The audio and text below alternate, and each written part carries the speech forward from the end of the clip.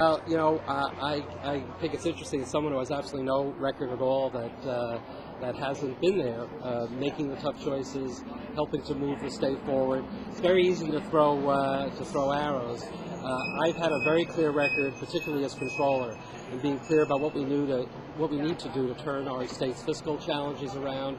A very clear record in terms of managing our pension fund during a very, very difficult uh, investment climate and real proposals for reform and openness and transparency. So uh, it's very easy to criticize when you have no record at all, when you haven't been there making the tough calls. And when I get an endorsement like this today from people who've been looking very carefully uh, about what the candidates are saying and, and what not only what they're what they're saying, but what they've actually done, which is the best indication about uh, what you're going to be able to achieve in the future. I think it's very clear that um, the people are going to be with me in spite of Harry Wilson's money.